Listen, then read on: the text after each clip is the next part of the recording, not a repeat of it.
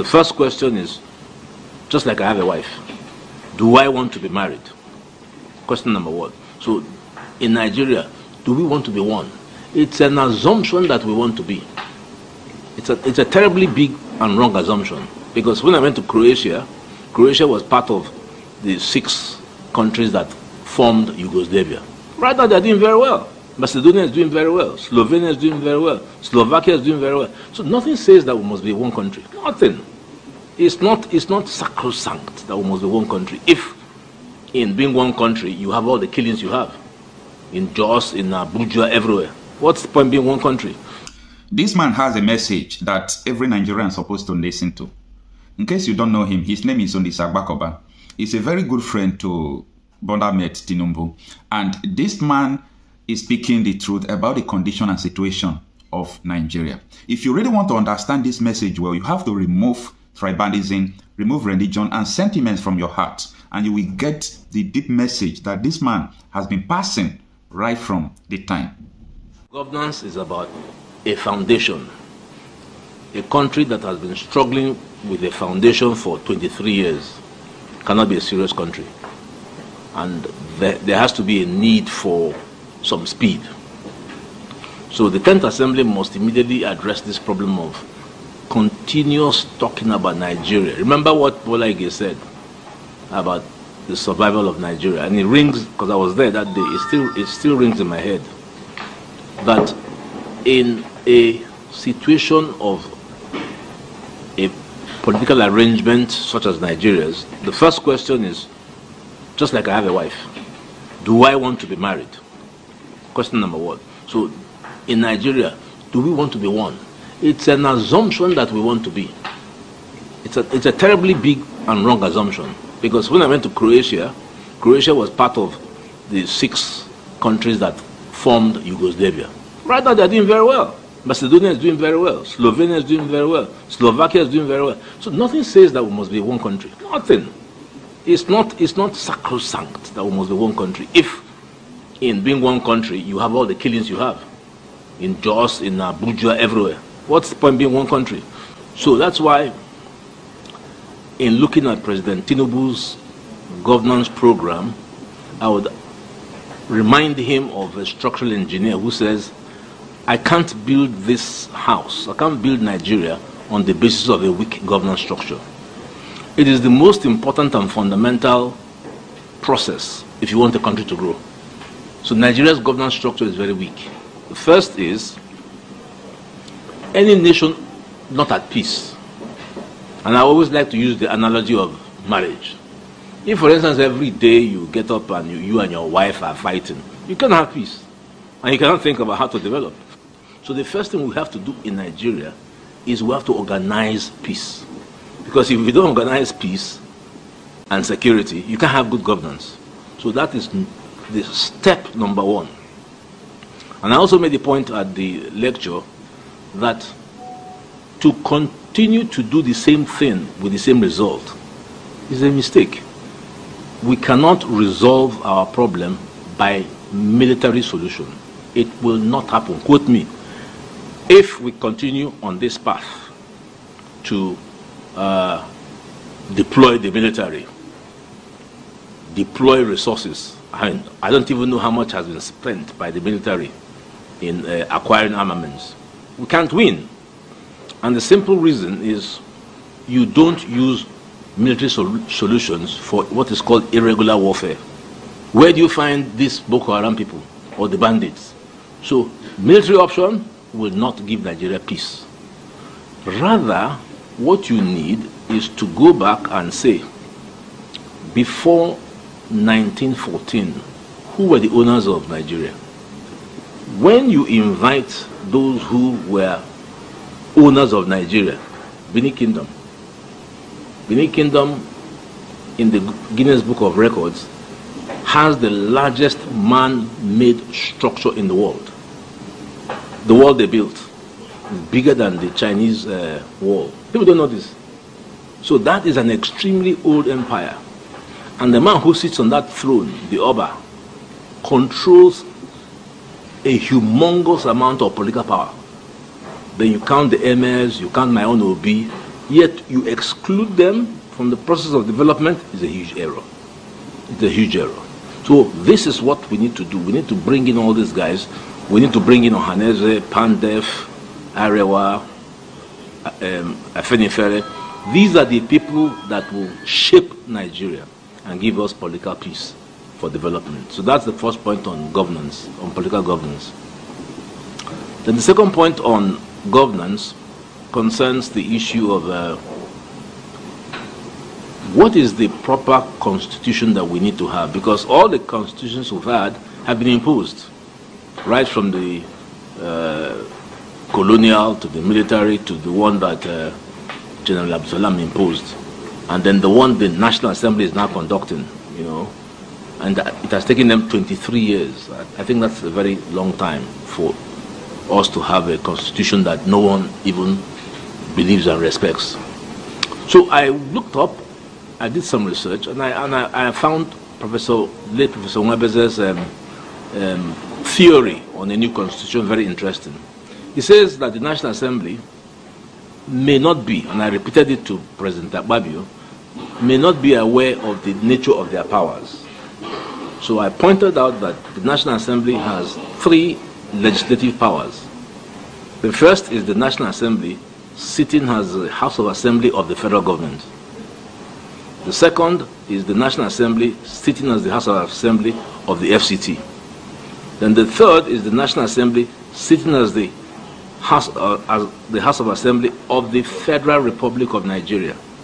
It is a power they've never used. So Nwabueze suggests that they could use that to just establish a new constitution. All they need to do is to consult people. The constitution people don't understand is not as sacrosanct as it sounds because it's, a, it's an act that attaches the, the schedule.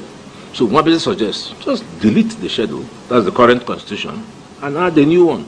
So all these discussions that have been taking place, create, write up something that is agreeable, send it around Nigeria, and once it's accepted, you go to the National Assembly, invoke the powers of Section 4, subsection 1, and then exchange. This happened when the Republican Constitution was established. The Parliament removed, by deletion, the Independence Constitution and they put the uh, Republican Constitution in exactly one day. Our National Assembly has spent 23, 23, uh, 23 years. Because if you don't have the foundation, you can't go anywhere. So we don't have security. Our political foundation is weak. Our constitutional foundation is weak. Two vital instruments for development. The judiciary is, as in my 45 years, never been as low as this.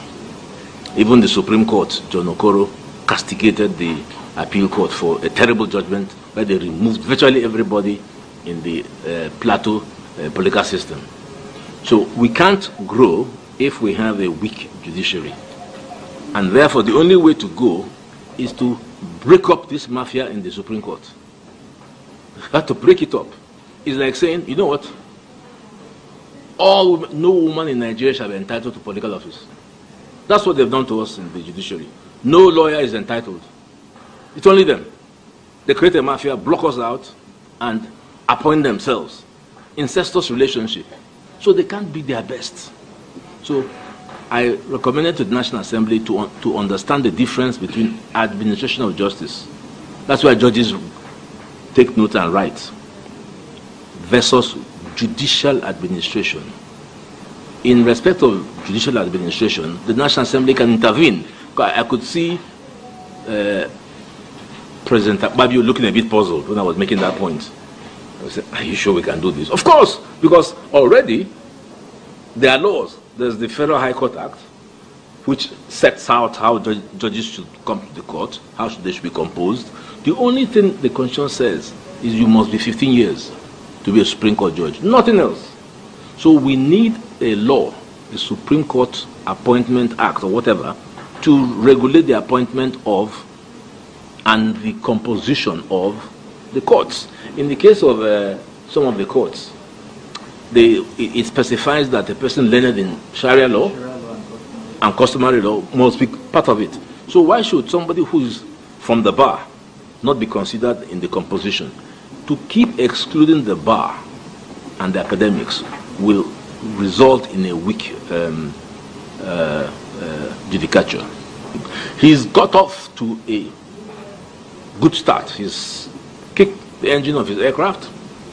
He's gone onto the wrong way. And the most difficult time for a pilot is when you're climbing out. So he's on the climb out. But remember that a, a, a pilot can always radio air traffic control that he wants to make an air return. So we're at a point where we cannot say the climb out will reach cruising height. We can, an air return is, is a possibility. Unless all what I'm saying, you know, you may say, well, I've been talking. But what I'm saying, as far as I'm concerned, is a very vital component of how Nigeria can reach cruising height. Otherwise, the captain may be looking for the nearest airport to, to, to return to and land. Well, what you must know is that Nnamdi Kanu is being held hostage on behalf of the famed unity of Nigeria. That's what it's all about. It's as simple as that. If you mention his name in certain circles, they don't want to hear it because they feel like he threatens the real estate called Nigeria. And his Igbo makes it worse because Nigeria's DNA hates the Igbo for attempting, you know, in the 60s and, you know, towards the end of the 70s to leave a country they said is no longer favorable to their existence. But I keep saying, and I will repeat here again, is there any Nigerian out there in their majority who has not mentally seceded from Nigeria? Not many. That's why people are living in droves. Each time you get on a plane leaving this country is full, each time it's coming back, probably full too, but it is those who are coming back to pack their things that are coming back. That's the way I describe mm. it. But the truth is that Nnamdi Kanu has been held hostage. He was abducted from Kenya, extraordinary rendition. The fact that he's in his, his kidnapped from Kenya could not be explained shows that any judicial pronouncement or processes after that is null and void. You cannot go and kidnap somebody and bring them before a court. And the courts have made it very clear, even up to the Supreme Court, that he did not jump bail. It was the military that went to his house to kill people, and then he escaped. And now you have brought him back, you ought to respect and restore his bail. That's what I told his lawyers. Why are you applying for bail again? Because the Supreme Court made all the pronouncements except releasing him. And I think mm. it was because they were afraid. And that's why I said he's a hostage to this country. And like you rightly said, are other people have made even more egregious pronouncements and fought and carried arms in this country. And you have not treated them the same way because they're not Nnamdi Kanu's, uh, you know, their name don't sound East. And I'm not here to fetish being able. But the reality is that they are not treated fairly. And Nnamdi Kanu is part of the reason why that is clear to everybody. Right. And by the way, I must also reveal here that there are some Igbo elites who are behind this. You know, whenever there's a crime of conspiracy against freedom fighters, there are people inside and outside who are working together.